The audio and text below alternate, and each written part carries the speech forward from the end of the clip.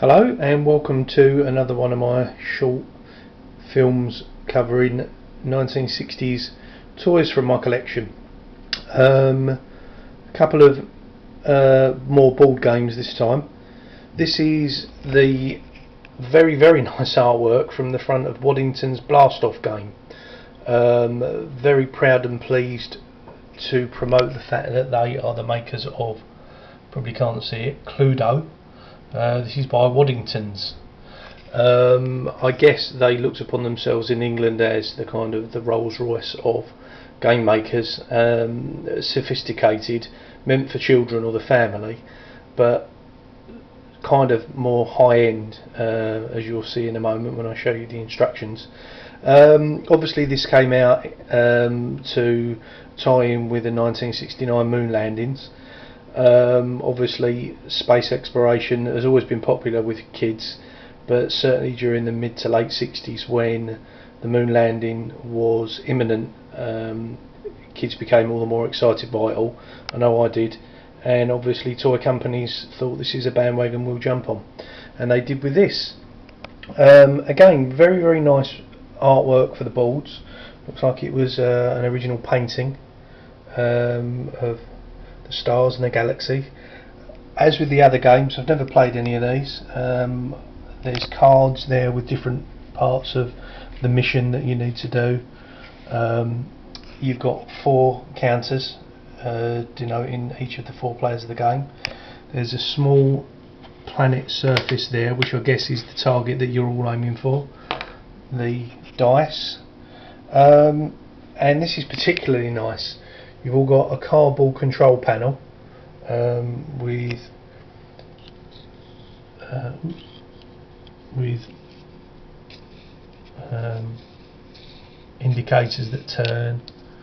Uh, so I guess if you were to play the game, that would all make sense. Um, you also get this again, only cardboard, um, but it's kind of almost a bit of role play and a bit of interactive stuff as well as playing just a normal throwing of the dice game. But even as a man in his mid 40s, I find this instruction manual rather intimidating. There's one, two. I mean, most kids of a birthday or Christmas afternoon just want to crack on and start playing the game. And I'm sure if you was a parent and you was asked to look over these instructions, you'd be equally as um, confused as, as I am now. So I'm sure this wasn't particularly a popular game with kids. I mean, it looks it reads more like a kind of a physics manual uh, than, a, than board game instructions. But I, I, obviously bought it purely because I like the look of it. I'm interested in uh, space toys and games, and uh, it's a very nice English example of that see if I can get a closer shot of the astronauts on the surface.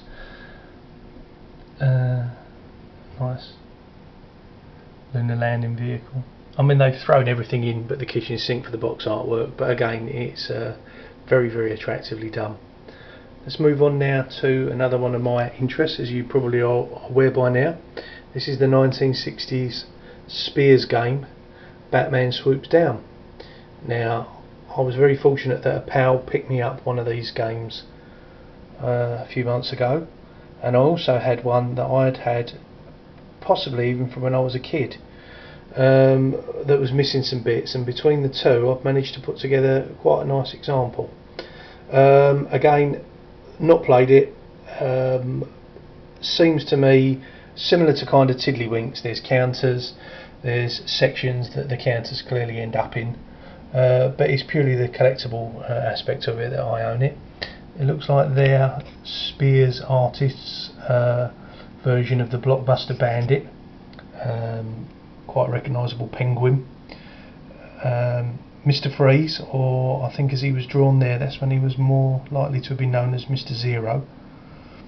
Uh, Catwoman, Joker head, and some generic kind of gangsters captured Robin. But nicely done. Um, not quite as sophisticated looking as some of the American Batman games, uh, but again, 1966 England goes to show that uh, Batmania, as it's become known, was in full swing over here. these are very nice. Um, small figurines of Batman. Each of you have got each player. I think you kind of flick the character. I've never never really tried it to be perfectly honest. They're weighted, so it's actually quite difficult to put them in the box. Um, I assume, in terms of Batman swooping down, you do something like this. See if we can do this. Probably I'll make a complete pig's ear of it. There, exactly. But he lands on his feet. You won't be able to see this, I know, this camera. Um, but very nice figurine of Batman. Um, rather like a Subbuteo type of character uh, with the weight there. But um, just another little short film for people to check out a few things that they may have only ever seen on eBay or on the internet or at toy fairs and thought, hmm, I wonder what those look like inside. Well, here's your chance. Um, and again, as with all of the collections, um, there are fellas out there with far more than me, um, but I've never seen anyone post similar films to do with this kind of stuff on YouTube. There's some guys in America that do stuff to do with Johnny Seven and Johnny Astro and G.I. Joe, which are great.